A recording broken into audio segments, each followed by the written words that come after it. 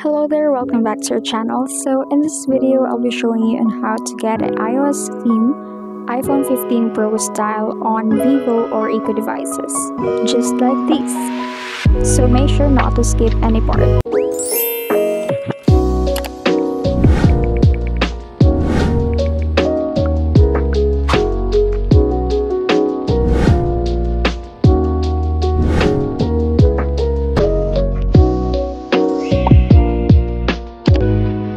So this is my default theme on my Vivo device. So as you can see, I have here this default theme with Android icons and Android style interface.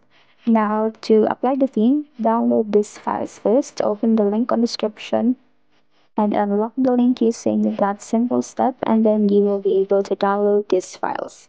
So here extract the zip file using the password I will give later on in this video. So here are the files and then install this widget applications if you also want to apply the iOS widgets on your device.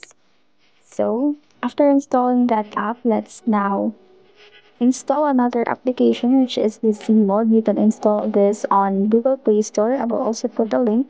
Now click on apply theme, select from file. Now go to your downloads folder, open the zip file and click this iPhone 15 Pro theme wait for that load and then you will be automatically redirected to your theme store app or iThemes. Now go to local.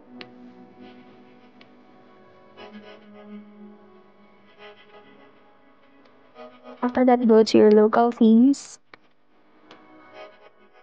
And then scroll down a bit. You will see here the downloaded themes and here is the iPhone 15 Pro theme. Now apply this one so we have successfully applied the theme, but we will still do some configurations and customizations for this iOS theme. So as you can see here, we now have the iOS app icons as well as the iOS style wallpaper and the iOS style control center and status bar. Now let's open the color widgets to apply the other iOS style widgets on our device. So we have just set up the application. Now go to your home screen and go to add widgets. Find the color widgets placeholder here and drag it to your home screen. Now let's select the widget that we want to apply. So for example here, let's use this weather forecast widget and adjust it or design it on your home screen. So this one we are currently designing our home screen to make it look like on the iOS launcher. Let's add another widget. For example, let's add this calendar and add it to your home screen again. So here's how our first page looks like. Now let's add another one to our second home screen page. Let's try to use the widget with the medium size. Now let's try to add some notes. So this note is customizable. You can add here whatever you want to, just like few reminders or notes for you to remember. So here's an example. I have also applied iOS emojis on my device. So if you want to do that on your Vivo devices, you may check out our iOS emoji tutorials for Android.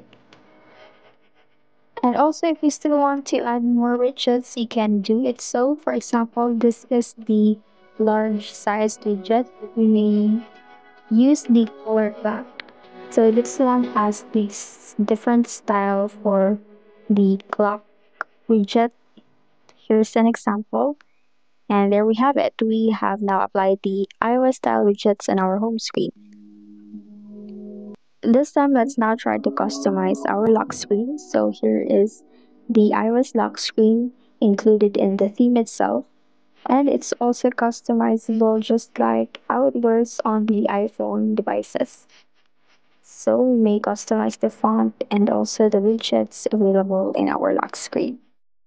Unfortunately, we only have two options for our lock screen wallpaper because this kind of views does not allow changing of wallpapers in the lock screen. So there we have it. And if you can take a look, you can now see that our status bar is also changed to the iOS style. I have also included a customized iPhone 15 wallpaper that you may use in your devices. So It was included in the zip file so you may easily check it on your albums. And now customize and apply the wallpaper in your device. So as you can see, we already have here the blur that with app icons at the bottom. So that's how we have it. iOS lock screen with iOS wallpaper on your Vivo device.